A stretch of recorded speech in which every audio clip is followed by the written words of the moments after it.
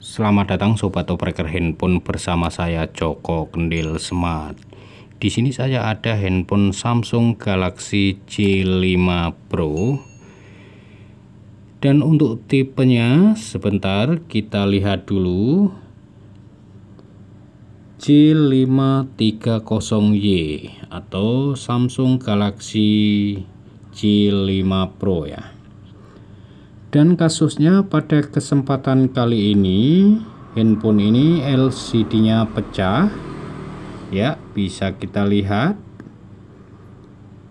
Coba kita akan sorot pakai lampu senter. Di sini kelihatan ya. Kelihatan di bagian atas ini pecah ya. Pecah bagian dalamnya.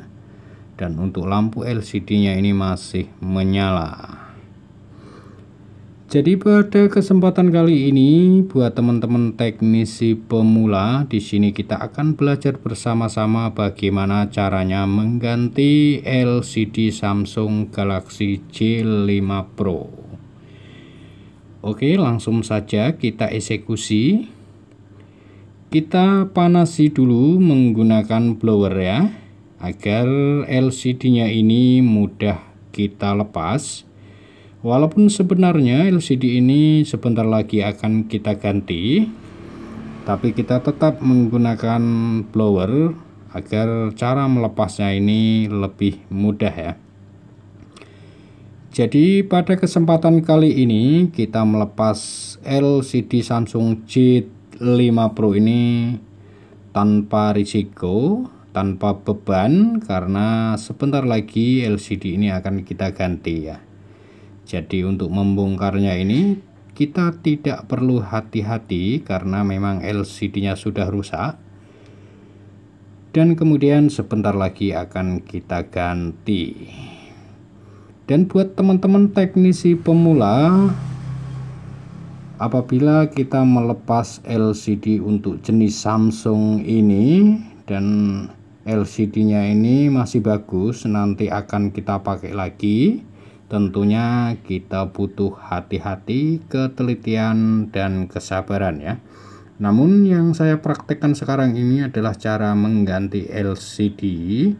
Jadi untuk cara membongkarnya ini agak sedikit kasar ya. Agak sedikit kasar karena memang LCD ini sudah rusak dan nantinya akan kita buang, akan kita ganti yang baru ya. Jadi cara membongkarnya ini agak sedikit kasar. Dan ini memang sudah rusak ya. Seperti ini bisa kita lihat sudah terbelah seperti ini. Oke kita lanjut. Di sini kita buka saja untuk plastik penjepitnya. Kemudian kita lepaskan soketnya dan ini ya LCD nya sudah hancur lebur seperti ini. Oke kita singkirkan saja. Kemudian kita coba bongkar mesinnya ya. Di sini ada banyak bautnya. Kenapa harus kita bongkar? Karena mesinnya ini masih hidup ya. Jadi kita harus bongkar dulu kita bongkar kemudian kita cabut baterainya agar handphone ini benar-benar mati ya. Kalau kita langsung pasang LCD nya kita takut terjadi konslet. Dan biasanya touchscreen-nya ini juga tidak berfungsi ya kalau kita pasang dalam posisi mesin hidup. Oke dan setelah kita lepas bautnya jangan lupa. Sim tray-nya kita lepas dulu ya. Ini mengganggu untuk membongkarnya kalau tidak kita lepas. Dan untuk jenis Samsung Galaxy J5 Pro ini kalau dalam posisi layar apa namanya layarnya terkunci menggunakan pola ataupun sandi kita juga tidak bisa mematikannya.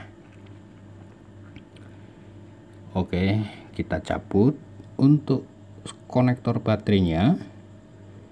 Lalu kita pasang kembali kemudian kita rapikan lagi. Oke kemudian di bagian switch on off nya di sini.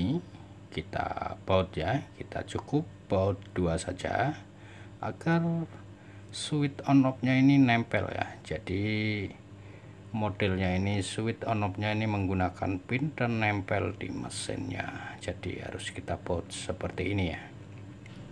Dan di sini saya sudah siapkan LCD penggantinya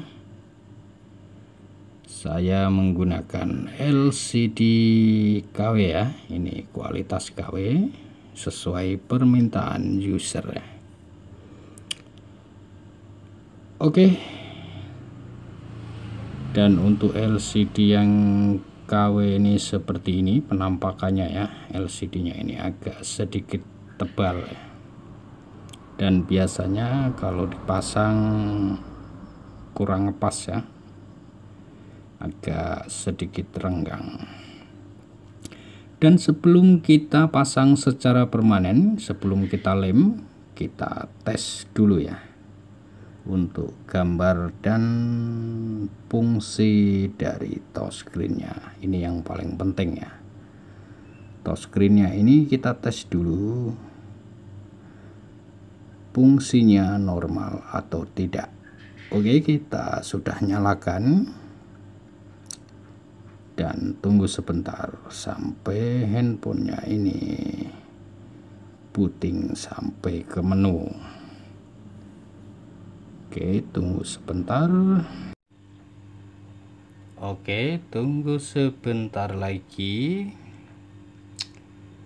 Dan kemudian kita coba tes touchscreen-nya ya. Kita tes touchscreen-nya dulu. Oh, oh, ternyata handphonenya ini ada polanya ya. Kemarin saya lupa meminta atau menanyakan sama yang punya.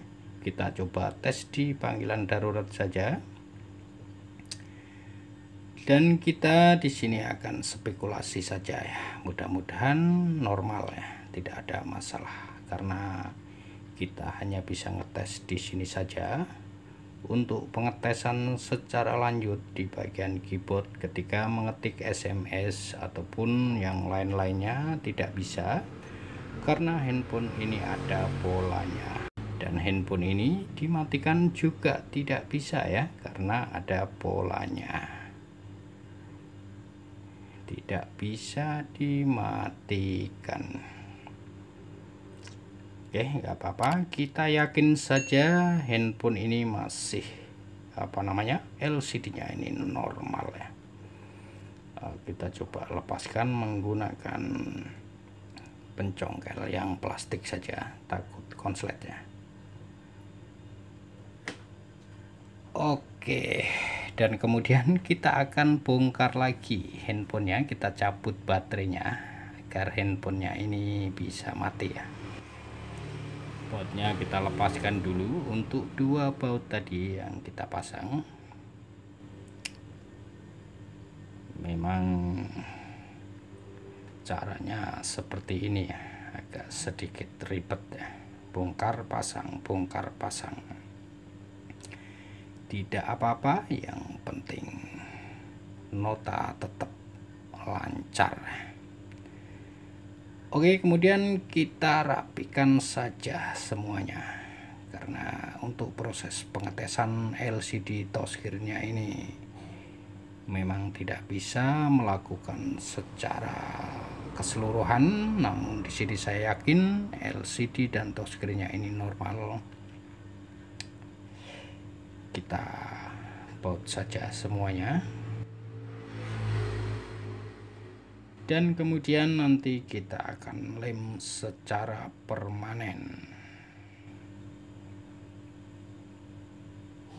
Oke, buat teman-teman teknisi pemula simak saja tonton terus videonya sampai habis karena di sini kita belajar bersama-sama. Oke ini sudah kita baut semua.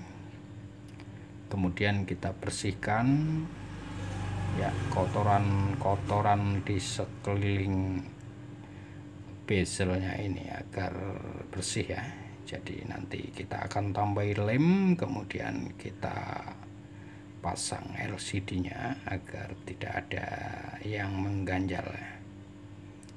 Oke dan ini sudah bersih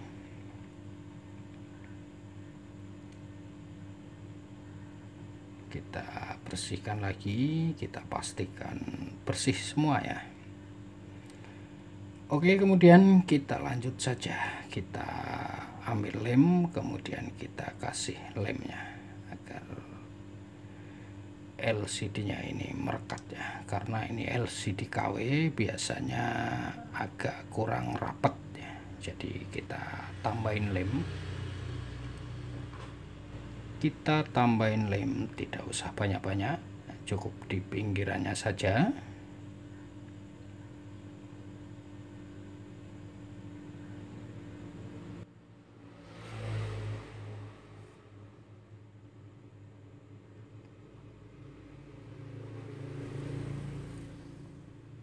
Oke, di sini kita masih tetap setia menyimak ya. Kemudian langsung kita pasang LCD-nya. Oh ya, jangan lupa segelnya kita buang ya agar tidak mengganggu. Ya, dan ini sudah dipastikan tidak ada garansi ya. Segelnya sudah terbuang.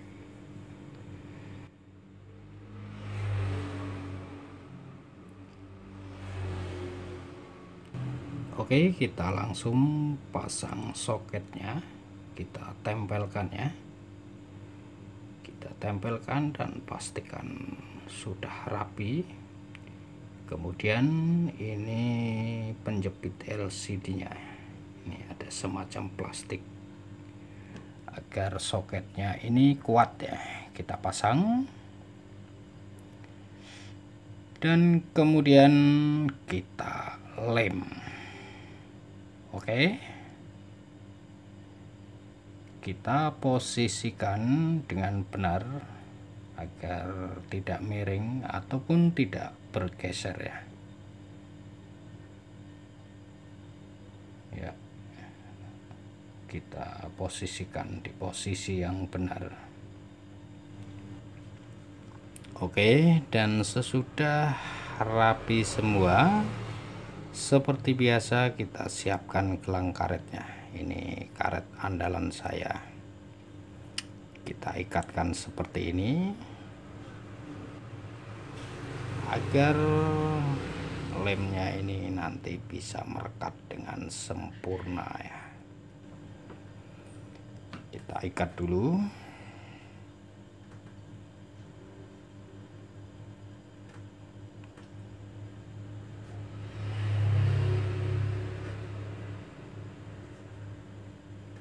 kita ikat dulu dan kemudian nanti kita akan diamkan kurang lebih 30 menit atau satu jam ya.